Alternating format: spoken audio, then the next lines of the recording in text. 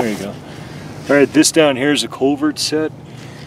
We get a good uh, travel area here for raccoons. Um, so what I did is I went ahead and put an earth anchor in down over here. I've already hammered that in.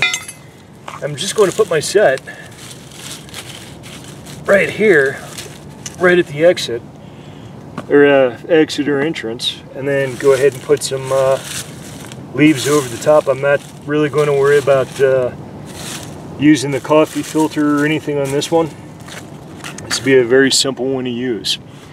So whatever comes through here, it's going to come right through the area. When I take a look at the tracks that are coming through here, it's right here, right in the middle. So I'm gonna put my trap right now. There. See, you don't want to use a leg, a, uh, a foothold trap. You wanted to go ahead and use something different. You can go ahead, unclip it here, and say I want to go ahead and put a snare set in here. So I'll go ahead and take this off for now. We'll go ahead and put my trap up here just to show you the difference. So very simple. Go ahead and get my loop while I'm over here too. Go ahead and pull my loop through. So this plastic tube that you have on your snares, don't ever cut these off and I'll show you why. They're a very, very useful resource for us. So right here, I don't know if you can see it, but I've, I've gone ahead and put my earth anchor in and this is already sticking out a little bit. So I can go ahead and change this periodically uh, for however I want.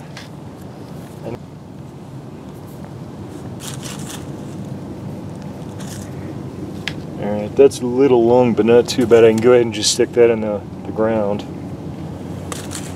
Then I'm going to bend this just a hair to where it looks like that. Okay.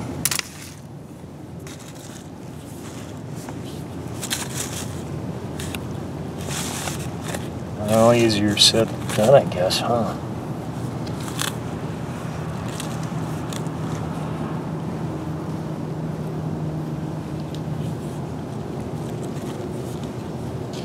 Now, what I'm using here is just your typical trapper wire and uh, this is uh, 11 gauge wire. Very easy to use for this. Very stable. Alright, so over here, my target animal is going to be more than likely a raccoon. Okay? So what I'm going to do is I got my loop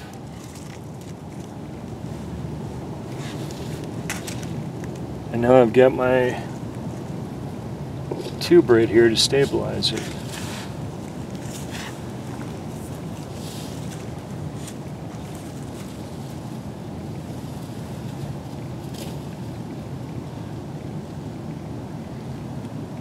There we go. We can go ahead and leave this right here. So if we have a raccoon coming through, of course, you want to go ahead and take some of these leaves, go ahead and throw it over the top over here. Maybe a little further down. So this is what your loop will look like in a culvert set uh, using a cable device uh, for a raccoon. Uh, if you're going to use for a fox, um, they recommend six to eight inches wide as far as right through here, the diameter of the loop. And then they also recommend about six to eight inches off the ground. Um, I'd go with about six. Six would probably be your magic number. Now one thing you want to keep in mind about the loop is you want it to be more of an oval shape. You don't want to have it a full circle. Uh, have it almost like a uh, like a kidney shape. Okay, kidney shape would be the better way to go. So when something comes through and it runs, it's going to get tangled up just like this. So easy enough.